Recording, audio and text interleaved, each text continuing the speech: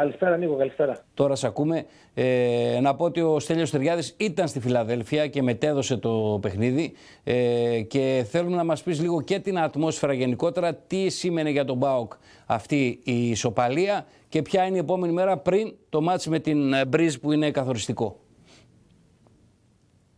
Ασφαλώς η ισοπαλία έτσι όπως ήρθε, με τον τρόπο που ήρθε με την μισή ανατροπή από το 2-0, ασφαλώς δίνει ένα πολύ μεγάλο μπουστάρισμα της ψυχολογίας και της αυτοπεποίθησης στο παιχνίδι του ΠΑΟ σε ένα μάτι το οποίο ε, δεν άρχισε καλά. Ο ΠΑΟΚ δεν ήταν καλός στα πρώτα 60 λεπτά και πάλι εμφάνιση σημάδια τα οποία τα είχαμε δει και στα προηγούμενα παιχνίδια με την ΑΕΚ στην Οπαβαρένα.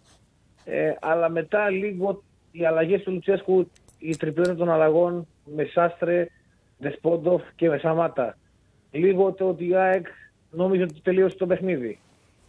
Στη συνέχεια ήρθε και το γκολ του Μπάμπα στο 62 και ήρθε και ο Σντόεφ να μπει στο μάτς να φρεσκάρει το κέντρο. Η πλάση έγινε υπέρ του Πάου και νομίζω ότι από το 70 και μετά ε, μέχρι το 96 που σφίριξε, 97 που σφίριξε τη, λύση, τη λήξη ο Στήλερ, ε, ο Πάου θα μπορούσε ακόμα και να κερδίσει το παιχνίδι πέραν του γκολ του Σντόεφ.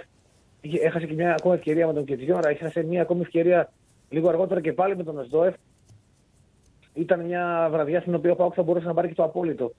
Στη Φιλαδέλφια πάντως η αλήθεια είναι ότι μετά από ένα. Δεν το έλεγα κακό. Ο Πάουκ δεν ήταν κακός στη Φιλαδέλφια. Ήταν ένα παιχνίδι, η ΑΕΚ δεν ήταν καλύτερη του.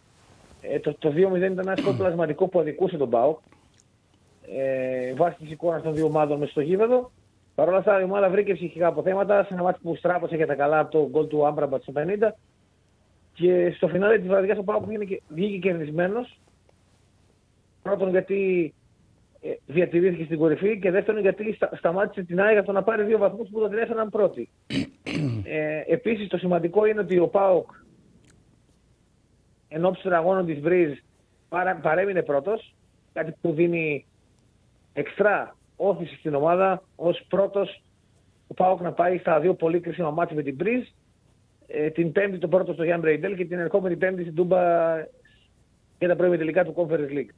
Μάλιστα. Ε, όσον αφορά τη, την ομάδα πλευράς τραυματισμού κλπ. δεν υπάρχει κάτι. Είναι όλοι οκ, έτσι. Αν και το παιχνίδι χθες είχε αρκετές δόσεις πολεμικών τεχνών. Ε, είδαμε πολλά, πολλά και πολύ σκληρά μαρκαρίσματα και με τα πόδια και με τα χέρια. Είδαμε τραβήματα φανελών, είδαμε κλωτσιές, αποθήσεις. Ήταν ένα πολύ σκληρό παιχνίδι και αυτό δικαιολογείται, φαίνεται και αποτυπώνεται από τις 12 κίτρινες κάρτες που έβγαλε συνολικά ο Στήλερ, ο οποίος έκανε ρεκόρ καριέρας. Μέχρι τώρα το ρεκόρ του ήταν οι 11 κίτρινες. Στη Φιλαδέλφια τόσο στο ρεκόρ έβγαλε 12 ο Στήλερ. Ε, ήταν ένα παιχνίδι το οποίο σίγουρα ποιοτικά δεν ήταν ότι καλύτερο. Πήγε πολύ στην, ε, στην δύναμη, πήγε πολύ στην ένταση, πήγε πολύ στο man to man. Ε, αλλά το ευχάριστο για τον Τσέσκου είναι ότι δεν έχει κάποιο πρόβλημα τραυματισμού. Να πω ότι η εικόνα της ομάδας από το 60 και μετά και το γεγονός ότι πήρε ισοπαλία στη Φιλαδέλφια ε, ε, έφερε τον Λουτσέσκου, ε, να, μάλλον ανάγκασε μέσα εισαγωγικά τον Λουτσέσκου να δώσει ως δώρο στην ομάδα τον ρεπό σήμερα. Κανονικά ήταν να γίνει προπόνηση.